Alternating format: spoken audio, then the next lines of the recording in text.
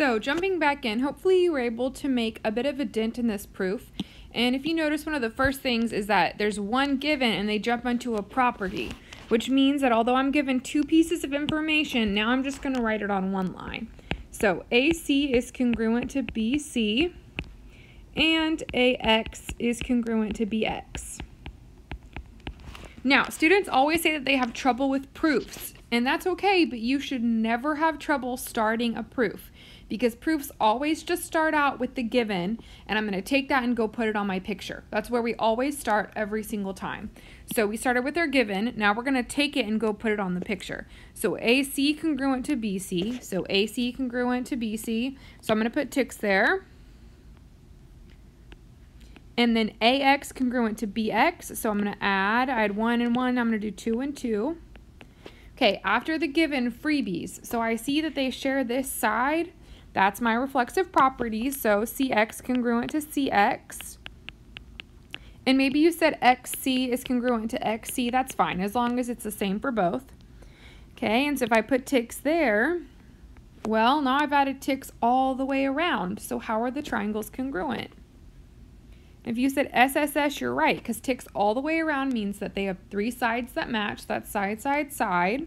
So now I just need to finish out this statement. So triangle AXC would be congruent to triangle BXC.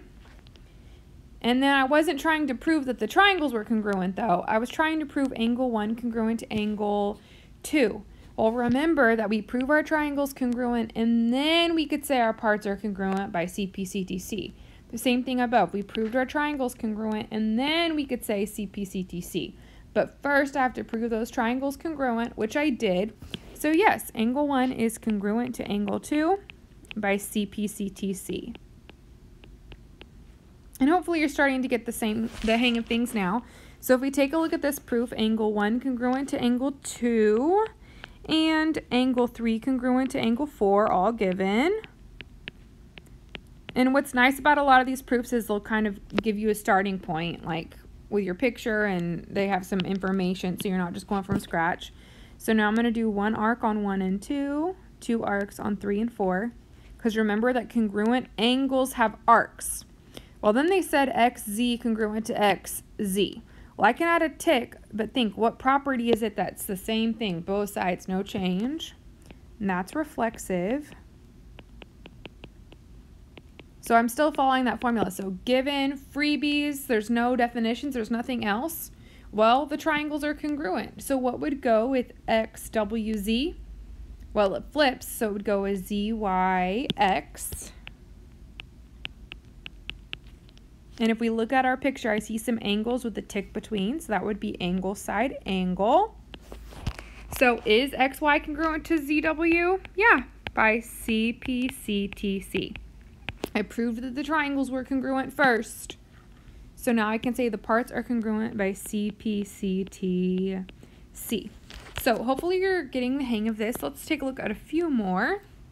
So if I look at this proof, the first thing that I notice is that I'm proving a triangle congruent to a triangle, which means that this isn't a CPCTC proof. This means if I go back to my formula, I'm just going to do steps one through four. I'm going to do given freebie definitions prove, and I don't need CPCTC. CPCTC is with a part congruent to a part. So a side and a side, or an angle and an angle. So like this was an angle and an angle, but that last one that we did was a side and a side. But this proof is just a triangle congruent to a triangle. So let's start from the top. Remember that it's always givens. So QR bisects angle PQS because it's given to me. And angle PRQ is congruent to angle SRQ because it is given. Okay, and the only thing I could mark so far is that this statement, they told me what to mark. Angle PRQ is congruent to angle SRQ. So I can add arcs down here at the bottom. Okay, now I'm going to ask myself, so I did my givens, do I have any freebies? Well, QR is congruent to QR. Think what property is that? and that's reflexive. Remember, if they share a side, that's reflexive property. That other one, the vertical angles, that's really popular too. So angles like that, that's another popular freebie. Okay, so reflexive property, they share a side. Well, let's go look at our definitions. I see this first given, use the word bisect. Remember that that cuts something in half. So QR, it says bisect, so it cuts angle PQS in half. Well, if it cuts the angle in half, then isn't this angle the same as that angle? So couldn't I add arcs there? And the answer is yes. If you see bisector, it means we are going to add arcs here and here. But the way that proofs go is I need to be specific. Where did I add my arcs? Well, angle PQR is congruent to angle SQR because the definition of a bisector. And I should have said this earlier. I know that you don't have this paper. That's okay. You're just paying attention, just following along. We're going to do one more, just absorbing this information. So I had arcs here, arcs there. I had a tick right there, reflexive that I forgot to add. So are the two triangles congruent?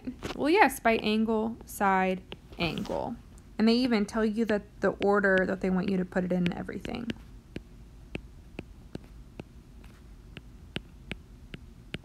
So let's say that they had wanted you to prove that PQ was congruent to SQ. All you would need to do is add one line with CPCTC. But if it's your triangles, then you can just stop after that.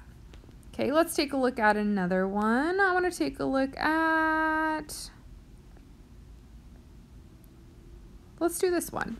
So they gave me a lot of given information. So I'm going to say that PQ is congruent to ST because it's given. I'm going to go put ticks on my picture on PQ and ST.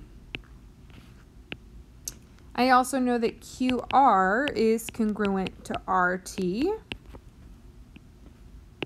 So I'm going to put ticks there, two ticks now, because that's given. And they told me that R is the midpoint of PS.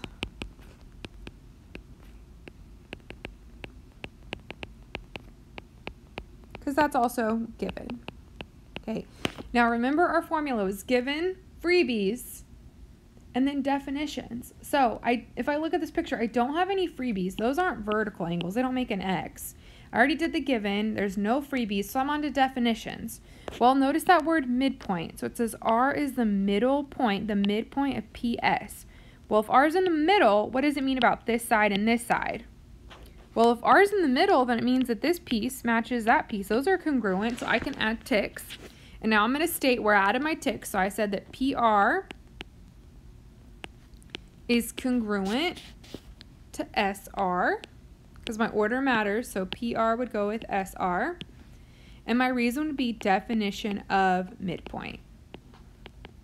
So you can have all sorts of definitions. You can have definition of midpoint, definition of bisector, definition of perpendicular, all sorts of different ones and proofs.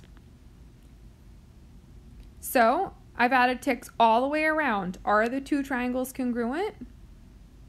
Yeah, by side, side, side.